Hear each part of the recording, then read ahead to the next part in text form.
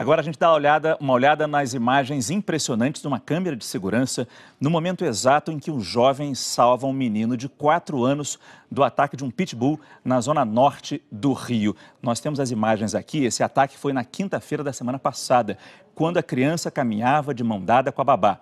Ao ver o cachorro mordendo o menino, Patrick do Céu, de 20 anos, não teve dúvidas. Fez de tudo para que o cão parasse o ataque e finalmente conseguiu pegar a criança no colo. Ele colocou o menino em cima do carro. Patrick ainda caiu no chão, mas fugiu do pitbull e pulou para o teto do carro. Um tremendo salvamento, uma tremenda história. O cachorro foi levado para uma unidade de zoonose da vigilância sanitária e o dono ainda não apareceu. Hoje de manhã, o repórter Danilo Vieira encontrou o jovem Patrick e também a criança. Os dois sofreram alguns ferimentos, foram socorridos e passam bem. Impossível ver o vídeo sem imaginar a agonia que o menino e a babá passaram. O pitbull ataca várias vezes a criança até ser salvo por esse rapaz corajoso, identificado como Patrick.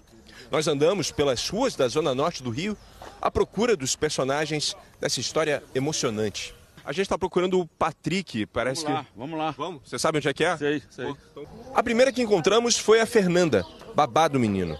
Ela conta que o cachorro estava na rua, sem dono, e que ficou agressivo quando viu crianças brincando de patinete. Foi muito ruim, porque assim eu me senti impotente. Porque o que, que eu ia fazer? O cachorro rodando aqui o carro atrás deles, o cachorro não estava me querendo.